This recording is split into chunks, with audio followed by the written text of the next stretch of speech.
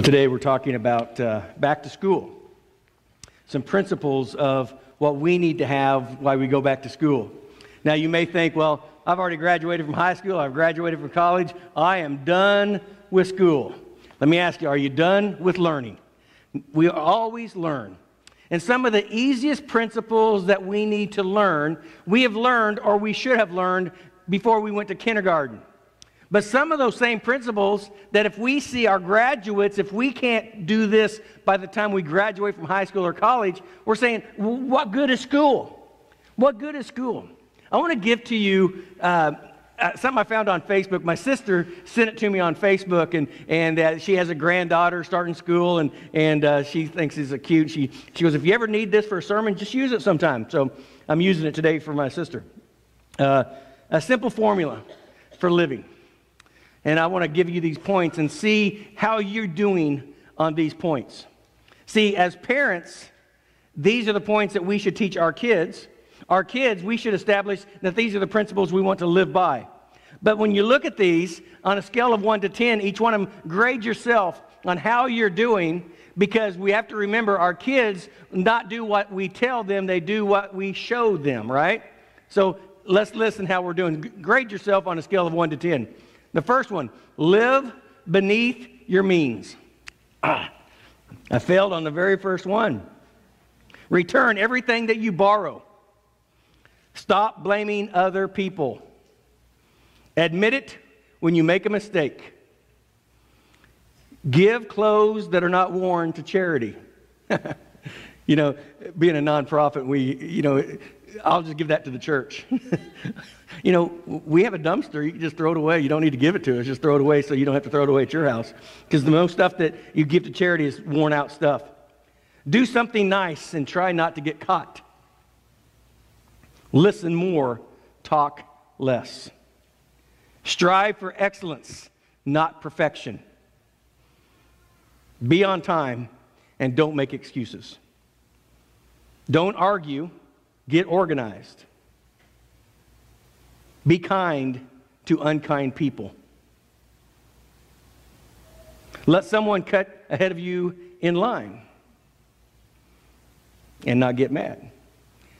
Take time to be alone. Cultivate good manners. Be humble.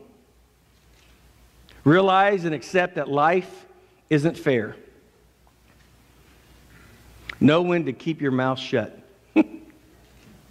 Somebody give me an amen on that one. Go an entire day without criticizing anyone. Learn from the past, plan for the future, but live in the present. Don't sweat the small stuff because it's all small stuff. When you think about those are some things that we all need to live by. There's nothing in there that I shouldn't have taught my kids, and there's nothing in there that I shouldn't live by. But when we're going back to school, we're look, looking at what God has for us. And at the end of our service today, we're going to bring all of our students in from the children's department. We're going to bring all of our, ask all of our high school students to come up, and all of our college students to come up. We're going to ask all the teachers and educators to come on the platform because school is hard. It's tough. It's a different ball game now than it was when I went to school. The competition is real. The emotion is frustration. Sometimes the competition is overwhelming. Kids are tough. And it's different. And as a Christian, as a child of God, going to school just to learn doesn't take place. Our job in the body of Christ and in church is to be an example is to love and is let people know that Christ loves us. So I want to read some scriptures to you found in Psalm chapter 127, verses 1 through 5, and this is written to parents. And uh, this is very important to us. You know, and, and as, a, as a dad, um, I always say this, and our, all of our parents are going to agree with this. You treat my kid with respect, you're respecting me. You hurt my kid, you're hurting me. Moms, somebody says something bad about your little girl, the cat fight is on, right? It's on. But what we have to do is we have to train our kids and love our kids because the school system is not It is our responsibility. I was a youth pastor for many years, and, and one of the things I got frustrated with is parents thinking it was my responsibility to teach all the spiritual values to their students and to, to change the student's life. And I always said, man, I have your students for three hours a week, and you have your students every day. I want to help you, but it's not my responsibility to train your child in every area of life. It is our responsibility as a parent to love our kids and to teach our kids and to live a life in front of them. There's a key word in this first verse. And this key word in this first verse changes everything about what we're talking about. And the key word is build. It is God's job to build. It's our job to allow God to build. Unless the Lord builds the house, they labor in vain who build it. Unless the Lord guards the city, the watchman stays awake in vain. It is vain for you to rise up early and to sit up late to eat the bread of sorrows, for so he gives his beloved sleep. Behold, children are a heritage from the Lord. The fruit of the womb is a reward. Like arrows in the hands of a warrior, so are the children of one youth. Happy is the man who has his quiver full of them. They shall not be ashamed, but shall speak with their enemies in the gate. The idea of a quiver is a a strap that's held on your back that holds your arrows. And the Bible says, Happy is the man who has his quiver full of arrows.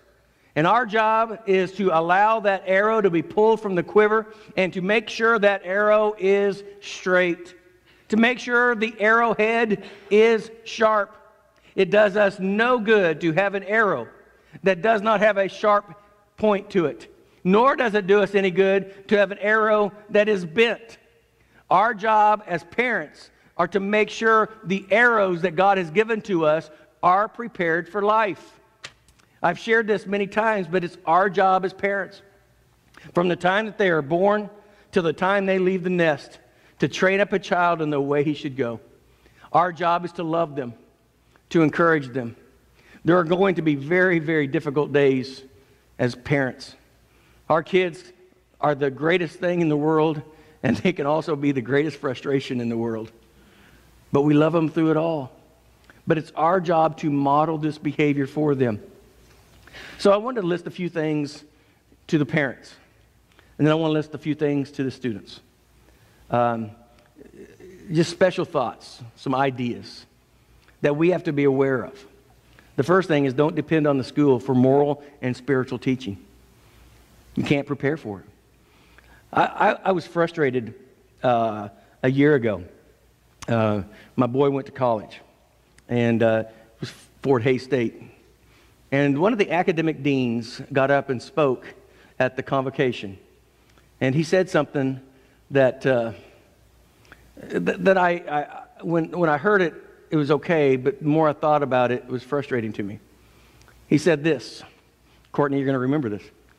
Um, he said, Your student comes to us with a canvas that is blank. Our job as the educators of this fine institution is to teach your child everything. It is like we're taking a bucket of paint and throwing it on the canvas.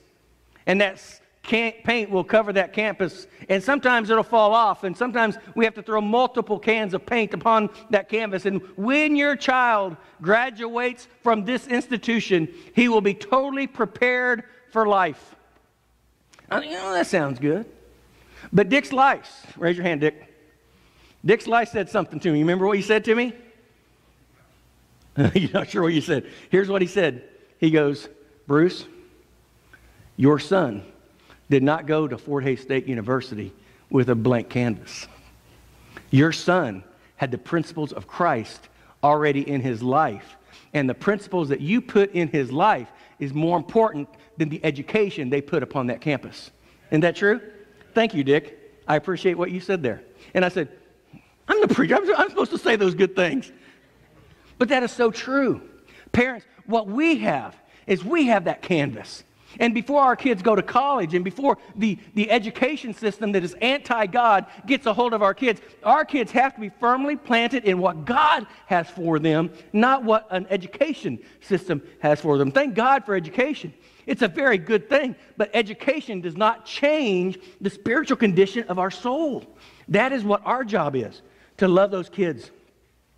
You shall love the Lord your God with all your heart, with all your soul, and with all your strength. And these words I command you, you shall love, these I command you, shall be on your heart. You shall teach them diligently to your children. You shall talk to them when you sit in the house, when you walk by the way, when you lie down and when you rise up. You shall bind them in your sign of your hands, and they shall be as frontlets between your eyes. You shall write them on the doorpost and your house and on your gates. Wherever we are, we need to teach our kids. It's not the school system. It's our hand, it's our family. It's our life. But we have to stop there. And we can't go any further until we get this done. And the first part of that is this. You, mom and dad, shall love the Lord your God with all your heart, with all your soul, with all your strength. I said last week that being married in a marriage is the hardest thing you'll ever do. Somebody give me an amen on that. Anybody's married, you say that's true. But I said this also. Being a parent is the second hardest thing you'll ever do. It is hard. And it doesn't stop when they're kindergarten, it doesn't stop when they're graduating from high school, it continues on in life. Here's uh, my favorite proverb It doesn't matter what you teach them, they will grow up just like you. It doesn't matter. They're going to grow up doing what they see, not what they are told. If we don't look for the first part, love the Lord your God with all your soul, all your heart, and with all your mind, what happens? We give them rules to live by, boundaries to live within. And here's what happens they just dispense religion, rules, and regulations. And when we as parents dispense rules, religion, and regulation, do you know what the kids give us back? Rebellion. Without love, without honesty, without transparency, you go to church, you do your best, you do this without loving them and caring for them. What happens is rebellion takes place, and rebellion takes place. There's no unity, there's no love in the home. It starts in the home, it doesn't start in school. The school is not going to give them spiritual foundation. The second point is don't compare your child's progress with the siblings. Your kids are different, right? Every child is different. For you formed my inner parts. You covered me in my mother's womb. I will praise you, for I am fearfully and wonderfully made. Marvelous are your works, and that my soul knoweth very well. My frame was not hidden from you when I was made in secret and skillfully wrought in the lowest parts of the earth, your eyes saw my substance being yet unformed, and in the books they were all written. The days were fashioned for me when you were yet none of them. God knows who we are. He created us uniquely. And that's why I love about we can't judge, we can't look at and raise one person the way we have to look at the soul of that individual. And in Proverbs chapter 22, train up a child in the way he should go, and when he's old, he will not depart from it. Aren't you glad that your parents didn't train you just the way they trained your brother or sister? Because they're different. They're, they're opposites in some cases. And sometimes I can look at one of my kids and he'll back off, and I look at another kid, he'll bow up.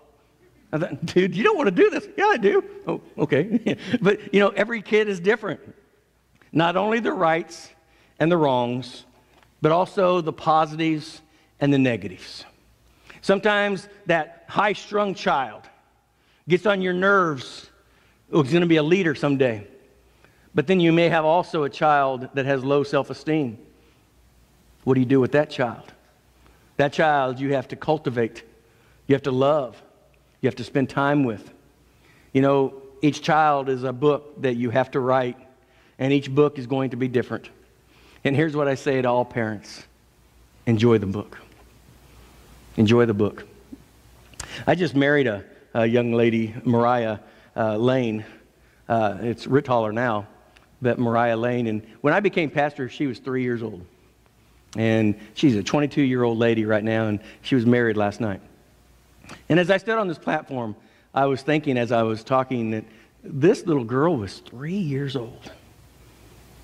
And now she's 22. And you know how fast that took?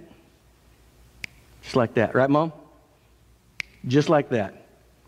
Kids will not be kids long. Kids grow up in no time. They look back and you say, oh, they were in diapers and now they're in junior high, and now they're in high school. Man, I'm taking them to college. And my job is to enjoy that child. My job is to teach that child and enjoy that child in every step of the way. There's valleys, there's hurts, and there's pains. But just because one child is successful in this area of life does not mean that child has to be successful in every area of life. Which leads me to the third point teach them to do the best, yet leaving, leaving room for failure. Failure. I think most times we learn more when we are hurting than when we are successful. Sometimes the things that we fail at hurt us, but we learn more about them. When kids or students fail, they're not failures. There's a book called Failing Forward, and it tells us that every one of us will fail miserably in areas of our life. There's days that we feel like nothing works, but we never give them an opportunity to think that they are a failure because they made a failure in one area of life. They have to pick something up. They have to learn from that. They have to grow up. And sometimes when we look at that, we, we never give them any room for failure. If, if they do something wrong, they get yelled at and cursed at. We need to love them during the weak times because we've all failed at something. Never anyone bats a thousand. Sometimes if you bat 333, you're doing really good in the, in the, in the major leagues. And that's only hitting the ball once every three times out every 10. So what we have to do is we have to love God. Just because somebody thinks that you're a failure doesn't mean that you're a failure. Just because somebody doesn't think that you're good doesn't mean that you're not good. That means maybe they have a different opinion. We have to always, always teach our kids to do their best. But if somebody thinks that they have failed, never allow them to be a failure. And then, parents, the fourth, keep in check the over principle. the over principle. The first one is overprotected. Somebody give me an amen. Sometimes we overprotect our kids. How about over control? How about overindulge? I didn't have it as a child, so I'm going to let them have everything that they want. What about over liberate? The kids control everything in the home. What about overreact? Sometimes we have to put in check the over principles. And as a parent, what we have to do is we have to love them. We have to look at my issue, and we call that being self aware. Sometimes we have to protect our kids, absolutely, but we can't be overly protective. Sometimes we have to control what they do. But you know what? There's going to be a day that they're not in your home. And what you have taught them, they have to live by. And overindulge. The first point of the point was live beneath your means. If our students get everything that they want, they're going to get everything they can get, even if they can afford it or not. And sometimes it's our responsibility as parents to say a word that we don't want to say sometimes to our kids. Anybody know what that word is? No. No. I'll give you an illustration. I have a guy, we have a lot of guys come to the church, ask for money a lot. Um, and my financial secretary gives me this button. It's a no button because I, I have a hard time saying no. So she gives me a no button and she pushes this no button. Say no, say no, say no. So I have a hard time saying no. So I'm saying yes, but here's what you need to do. I need you to go out to the parking lot and I need you to scrape weeds and I'll pay you seven bucks an hour, whatever the case is. And a lot of them come out there and they say, sure, they'll do it. And they get in their truck and they pull off. But I had this guy, he said yes, and he did the work. And when he did the work, I, I, gave him some money because I have a hard time saying no. But here's the principle of that Sometimes it's okay to say yes, but not without difficulty. Sometimes it's okay to say, you know what? There's nothing wrong with that. But if you would do this, I will give you this. As an employer or employee, don't you have to do that to get a paycheck? And sometimes our students need to learn that to get something, they have to do something. And sometimes we have to understand that we cannot give them everything. Sometimes we have to say no. Sometimes we do. And then, fifth one is maintain a home security. Maintain a home security. Make your home a place where your kids want to bring their friends. Make your place someplace that is secure. It's fun. Oh, there's rules and there's regulations and there's things that they have to do. But make sure that when your daughter or your son brings somebody to your house, that they want to meet you. They're proud to say, This is my dad or this is my mom. They're proud because sometimes if they go to their home, they get yelled at. And when they go to your home, that's a Christian home that brings eh, an environment of godliness, make sure it is a fun place. You know, the prodigal son left his dad's house. And he went off and lived a crazy life. Lost everything he had through righteous living. And the Bible says one thing when he came to himself, when he understood what he had done, he went back to his dad. And his dad opened up his arms and loved him. But do you remember the other side of that story? The older brother? The older brother was in the field and he was mad that his brother came home. And the father went out to the older brother and said, Do you not understand? Your brother was lost and now he's found. He was broke and now he's back. And his older brother goes, I have been here my entire life. Nobody's celebrating me being here. And that is sometimes what we have to look at as our kids. We have good kids, and they may have never done anything wrong, but sometimes we may have a rebellious child, and we have to love them. We have to train them. We may have to discipline them, but it has to be a home of security. When they come back, they are loved. Nothing motivates more than encouragement. Nothing. Uh, I could remember many years ago when I played baseball. Uh, don't laugh, it was many, many years ago. But um, the difference between a good game and a bad game. My dad would encourage me when I did something great, when I hit a ball, when I pitched a good game. But man, that drive home was terrible when I had a bad game. He would tell me for the 30 minute drive home everything that I've done wrong. Every pitch that I, every bat that I didn't hit, or every ball that I didn't hit, he would jump on me all the way home. You know what? I hated driving home with him on my bad games. But I loved driving home with him when I did something good. And I was thinking that to my kids. I said, I want my boy to love driving home with me when he did something good or when he did something bad. Sure, am I going to critique? oh, yeah. But after that critique, I'm going to tell him what he did right. Maintain a good security. Listen to this. If serving the Lord seems undesirable to you, then choose for yourselves this day whom you will serve. As for me and my house, we will serve the Lord. It's a decision that we make, it's an opportunity that we have. Okay, parents, I want to give three things to your kids. Number one, to all the students, pay attention to all authority. When we gain respect for authority, what happens is the authority respects us. We see that in our culture today, don't we? If we do not respect authority, authority is against us. But when we humbly respect that authority, whether it's our homes, whether it's our teachers, or whether it's even the police, when we respect the position that is over us, God takes care of us. And this principle is found in Proverbs chapter 1. My son, hear the instructions of your father, and do not forsake the law of your mother, for they will be graceful ornaments on your head and chains about your neck. When we respect those that are ahead of us, God will take care of us. And I heard this story of a, a boy that came home from school, and his dad got home from work about 4:30, and the boy said, uh, "Dad, um, they want to know if you want to go to a small meeting after school tomorrow."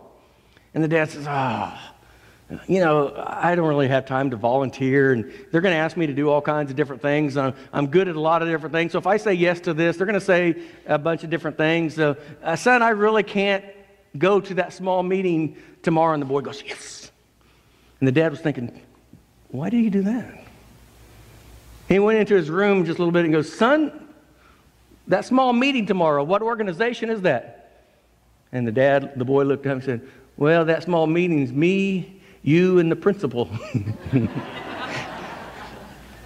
Sometimes we have to respect authority. In 1 Peter chapter 2 verse 13, therefore submit yourselves to every ordinance of man for the Lord's sake, whether it's the king or in supreme. Make sure we respect all authority. In Ephesians 6:1 it says, "Children obey your parents in the Lord, for this is right." You know, there's a phrase in there that whether your parents are good or they're bad parents. It doesn't change the fact that you have to respect that authority because of one phrase, three words. Children, obey your parents in the Lord, for this is right. It's, the same thing as in marriage. We don't do marriage because sometimes I love my wife or sometimes I love my husband we are obeying to our husbands and wives because God has given to that responsibility to us. And as parents, as kids, we have to only obey all the time. And then seven, don't give in to peer pressure. Don't give in to peer pressure. What does that mean? It means just don't do everything everybody else wants you to do. In 1 Corinthians chapter 15 verse 33, do not be deceived. Evil company corrupts good habits. If nothing else, bad friends will get you into trouble. And at school, we understand that who you hang with is who, who you're going to be like. And uh, there's a couple quotes I want to give to you. The first one is Benjamin Franklin says this He that lies down with dogs shall rise with fleas. Right? If you don't want to cuss, don't hang around with people that cuss. If you don't want to drink, don't go to the bars. It's very simple. What you do is when you're around people that do it. And then George Washington said this Associate with men of good quality if you esteem your own reputation, for it is better to be alone than in a bad company. It's better to be alone than in bad company. My son, in Proverbs 1:10 it says, "My son, if sinners entice you, do not consent." If sinners entice you, do not consent. See, if we're no different than every other student, then we can do whatever we want to do. But if we, godly followers of Jesus Christ, if we are on a different level because Christ saved us and we want to honor him and we are Christ like ones, we cannot be enticed with sin because if we do, we lose our testimony. What happens is do not consent. Sometimes we have to make decisions, whether they like it or not, we have to make decisions of what God really wants us to do. I heard a little story, and it's a true story, about a little fly a little fly was flying around and, and he was lonely and he was, he was kind of, you know, feeling bad about himself. He just wanted other flies to fly with him. And, and he looked down at the ground and there was a dance floor down on the floor and it was a brown dance floor. And all these flies were just dancing with one leg on this dance floor. And he looked it and he said, They're having a good time down there. And he got down right beside the dance floor and he got on the dance floor with all the other flies that couldn't move. And they found out that he was stuck on tape. And the flies that were dancing around were not dancing because they were having a good time. They were dancing around trying to get off the dance floor. And sometimes when we get stuck in sin, we're just like that fly. We're looking for somebody to love us, to respect us, to have a good time with us. But once we swoop down, we get stuck in our sin. And sometimes that sin that we get stuck in could absolutely kill us. And we could take our joy and take our freedom. We can't allow the sin of this world to stick us. We have to love them. And then the last one make Christ the Lord of your life. Make Christ the Lord of your life. It, it would be different if you were not Christian. But making the Lord of your life doesn't mean be a follower of Jesus Christ because you're already there. Making him the Lord of your life means every decision that you make is about him. Every place that you go is about him. The conversations that you have is about him. You don't have to be religious and you don't have to be full of piety, but the decisions that you make has to be one, I want God to be glorified. I, I don't want to go someplace where God could be hindered and I could fall apart. In 1 Peter chapter 3, verse 15, it says, But sanctify the Lord God in your hearts, and always be ready to give the defense to everyone who asks you the reason for the hope that is in you, with meekness and fear. It's not about taking the Bible and telling everybody how great, how spiritual, and how wonderful you are, and how much Bible you know. It's about telling people with meekness and fear in your life, just saying, you know what, I, just know what I did. I know I went to camp this year, and I know I gave my life to Christ, and I know I'm going to church, and I, I'm just trying to, trying to be different. Sometimes we just have to put Christ where he needs to be. And if I put the flesh in charge of Christ, I'm going to fail every day. I'm going to fail. Somebody tell me you wouldn't. I mean, we all do.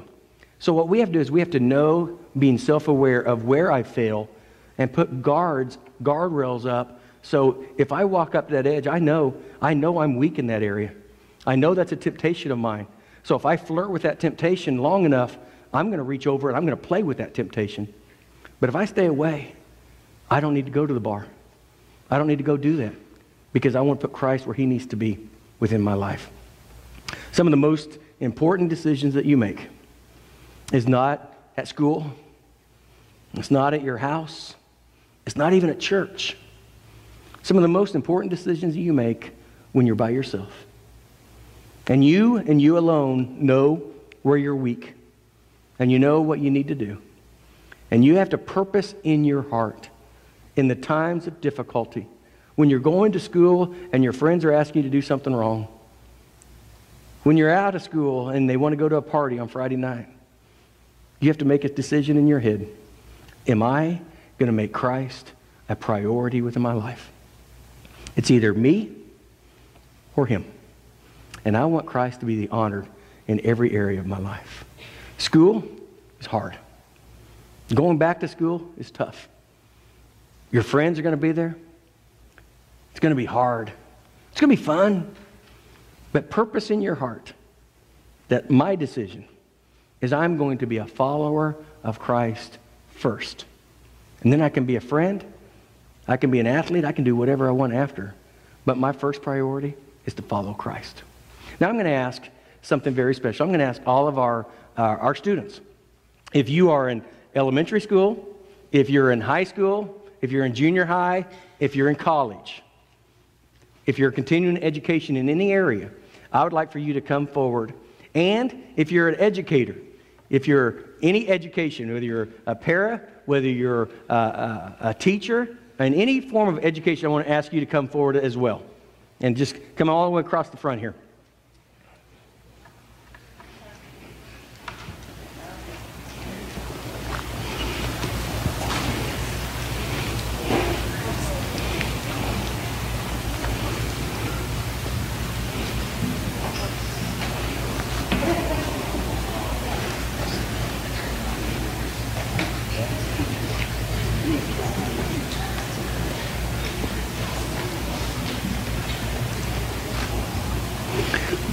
Look at this missionary team that we have right here, right?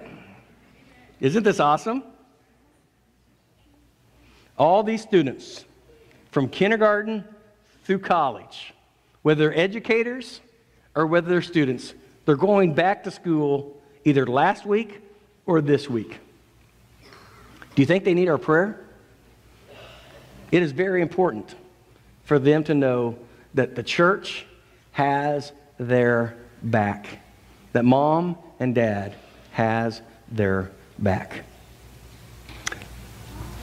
I'm going to ask Justin to sing just a couple verses of a song. And while he's singing, I want to ask you just to pray.